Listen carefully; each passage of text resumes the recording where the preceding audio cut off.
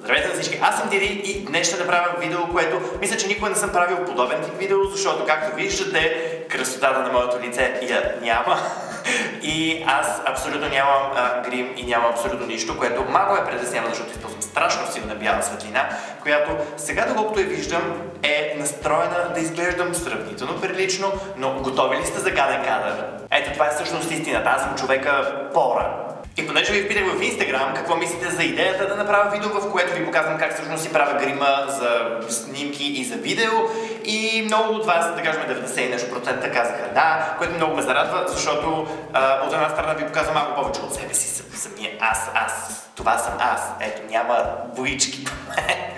И също сега ще ви покажа малко от начина по който да се гримирам. Обикновено в ежедневието си не носи грим, защото малко ме натварва да лепя някакви неща по лицето. В смисъл гадно е. Но понякога, когато усещам, че лицето ми е специфично по-резто, използвам ето този праймер на NYX. И аз съм супер доволен от него, защото няма цвят, абсолютно прозрачен е. И повечето пъти ще си сложа малко от праймера, защото това е достатъчно за да ми хидратира кожата и в същото време изглежда матова и неомаздена. Аз обикновено имам масна и по-реста кожа, няма да се на това нещо, но понякога тя изглежда ам, налюбена, защото понякога, когато се сменят сезоните и температурите, кожата ми е в шок. Но в случая, когато снимам видео, което трябва да е много перфектна ситуацията, тогава а, не слагам изобщо праймер, а минавам директно към фондютена и използвам ето този на Revlon. Това, като правя обикновено, не е никаква философия, просто пръцвам две, а, два пъти с фондютена и започвам да го разнасям лекичко а, навсякъде по лицето си. И започвам обикновено от носа, защото предпочитам носа ми да е абсолютно а, перфектно намазан. Искам само да кажа, че това видео го снимам без огледало и е много трудно. Продължавам с бузите, защото обикновено бузите ми са много розови, а аз опитвам да променя малко тона на лицето си. Аз съм с розов подтон, този фондютен е доста жълт, наясно съм с това, но след това, като тонирам светлината и направя малко цветова корекция, изобщо не изглежда жълто, а изглежда съвсем нормално, така че ам, жълтото по такъв начин го изчиствам, че после фондютена изглежда, че е моя цвят и а, зъбите изглеждат по-бели, очите ми изглеждат следователно по-бели и синьото изглежда още по-синьо. Се просто правя картината да е малко по-студена, за да върне малко от топлината.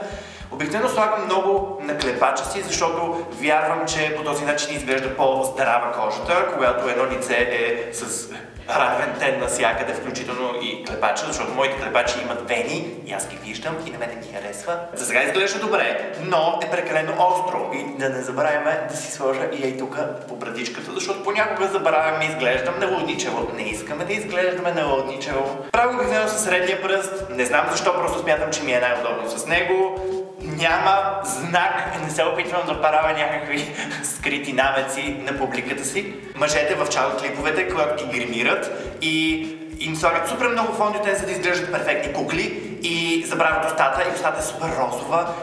Това е отвратително според. Но, така да Но сега ще ти кажете, Диди, ти си професионалист ти трябва да използваш четки. И да, ще използвам четка. Използвам ето тази четка на Боби Браун, която съм я намокрил. Нарочно съм я намокрил, не знам защо, но когато използвам мокра четка, за да а, си разпределя и да си блендна а, грима, просто ми харесва повече. Не мога да си го обясня, не знам дали е професионално, но за мен е професионално, така че ще го правя. Докато правя това, имам чувство, че отнемам малко от фондиотена, който е по кожата, за да не е чак толкова маска, боя по лицето, ами да изглежда малко по... Реалистично. Не, не търсиме реализъм. Аз съм Пикасо, аз съм... Ето и сега доколкото виждам, изглежда почти добре. Изглежда, че едно почти нямам нищо на лицето си, въпреки че обикновено когато се гримирам и знам, че соча в момента с четката, когато се гримирам, се гримирам и по врата, и по ушите, защото смятам, че човек трябва да е един цвят навсякъде. Който е казал, че а, бузите имат един цвят, челото има друг цвят. Не, аз искам всичко да е един и същи цвят, защото е много по-лесно да го фотошопирам, отколкото да се опитвам да го изравня на фотошоп. Не знам дали това просто има някаква логика за вас или не. А, понеже не слагам фондент в брадата си, а когато използвам близък план на снимките си, а, предпочитам брадата също да има, в смисъл отдолу, кожата да бъде не розова. И затова просто, когато а, взема четката, там където съм сложил фондиотена, забърсва това, което имам. Разбира се, аз имам... Дали се вижда? Това, е, което правя е, взимам малко от остатъка на фондиотена по ръката си и продължавам да а, да го тупкам в брадата, за да може да не полепне по самата брада, но да отиде по кожата на брадата, за да може все едно аз имам отвътре да блика красива кожа. Има ли някаква логика? Не знам дали има някаква логика. Когато го правя това нещо с четката, се старая да тупкам, а не да търкам, защото имам чувството, че ще отнема от продукта. Този трик ми го каза Боряна от Bobby's Makeup и все още го пазя. И дори тя ми а, предложи да използвам този фондиотен на Revlon Color Stay Makeup Combination Oily Skin Хаха А, тя ми го предложи и съм толкова доволен от него, че нямам причина да го сменям, затова да го сменям. Сега след като сме свършили с а, преливането на моята кожа с фондиотен, изглежда сравнително реалистично, понякога понякога решавам, че ще съм а, много пипкав и ще си взема бюти блендера. Това е някакъв абсолютно фалшив бюти блендер, който съм си купил от Jumbo най-вероятно за 1 лев. Но предпочитам да използвам него, защото използвам се оригинални бюти блендери и аз съм единственият човек на планетата, който не харесва оригиналния бюти блендер. Първо, защото е скъп. Това ме изненада. Това ме стъписва. Аз съм притеснен. Вау! Това беше мега крипи. Първо, че е скъп. И не смятам, че някой трябва да даде повече от 1 лев за гъба за фондиотен. И отделно на всичко, аз не виждам никаква разлика. Най-сериозно казано, не виждам никаква разлика между оригиналния и този, който е за 1 лев от Джъмбо. Всеки да си направи сметката. Та с въпросната гъба просто минавам най-главно през кожата, за да може тя допълнително да отнеме от фондиотена, защото предпочитам да сложа много дебел слой, който да отнема, отколкото да слагам малко по-малко, защото аз не съм гримьор и аз виждам нещата по свой начин. Не ме съдете, не сме тук да съдим. А, често ми се случва в коментарите да виждам хора, които са ми написали, че кожата ми е хубава, обаче защо по вежите са ми червени? А те са червени, защото просто не е стигнал фондата за тях. И изглежда, че все едно, а, все едно са прекалено червени, а всъщност просто няма боичка там, която да ги направи жълти. И а, понякога минавам допълнително отгоре с гъбата. На живо това ще изглежда много нелепо, но ние не сме на живо. Аз не съм в реалния живот, това не е истински човек, аз може да не съм истински. Аз истински ли съм? Не, не знам, не мога да ви кажа. Следващата стъпка е да сложа абсолютно прозрачна пудра. Тази е в контейнер да виши, но всъщност е крилан. Защото от Германия си купих един голям буркан с половин кило пудра, което струваше 40 евро, а тук съм чувал, че е някаква по-колосална сума за много по-малко. Използвам този контейнер, защото е удобен, защото по този начин само когато го отворя, мога да си разтъркам четката вътре и мога да си взема толкова колкото ми е нужно.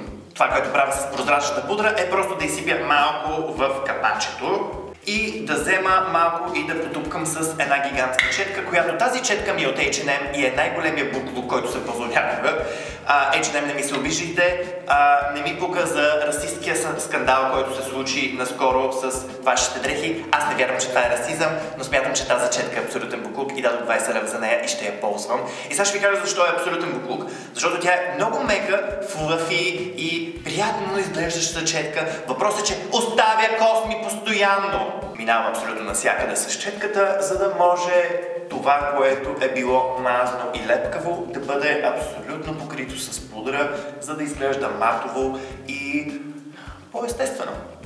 Така изглеждаме пластик фантастик. Така, както виждате, имам косъм от ето тази четка и понякога е много сложно да ги махна и е мега досадно и и отново слагам термална вода, защото искам абсолютно целият прах, който е по лицето ми да бъде напълно прикрит. В тези моменти се стара да не правя много мимики, за да не смачкам грима, защото понякога става на черти. Това не ми харесва, отново не искам да изглеждаме тъпо. И ето така, след като ми изсъхна лицето, мога да кажа, че изглежда доста добре. Изглежда, че едно имам много, много хубава кожа и в същото време не изглежда, че е нагримирана прекалено много. Обикновено искам отново да кажа, че си гримирам ушите, защото ушите ми са малко червени понякога и не искам да бъдат червени. Следователно, ако гримирам ушите, трябва да гримирам и тази част на врата, и гушата, и понякога дори решавам, че ще мина на още по-висок мод, в който а, решавам, че ще трябва да си гримирам и ръцете, защото понякога, когато е много слънчево